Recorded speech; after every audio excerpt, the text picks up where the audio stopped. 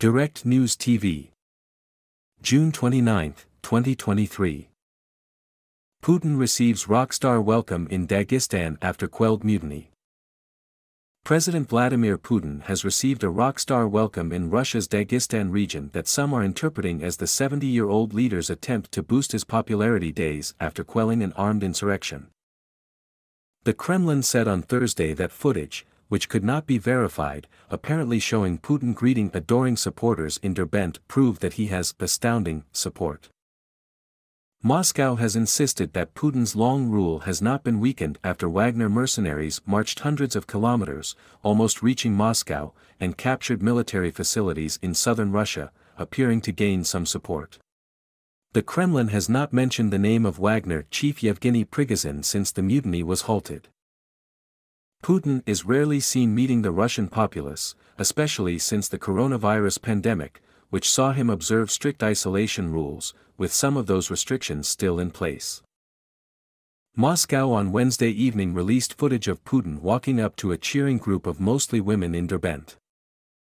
In Derbent, there was an astounding demonstration of support and happiness of the local population, Kremlin spokesman Dmitry Peskov said on Thursday. He said Putin could not refuse to greet the crowd. Surrounded by men in suits and a cameraman, the Russian leader reached out over a barrier to shake people's hands. Then, with his jacket off, he waved goodbye and blew a kiss to the crowd, before getting in a car. The data we have show the prevailing and dominating support of the president and the special military operation, Peskov said on Thursday, using Moscow's official term for the conflict in Ukraine. Putin has insisted that the mutineers did not galvanize support during their rebellion.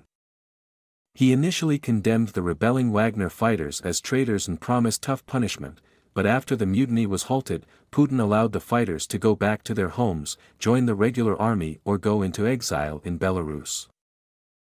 I did not doubt the reaction in Dagestan and in all of the country, Putin said as he met Sergei Melikov, the head of the Caucasus region, according to an extract of the meeting aired on Russian television.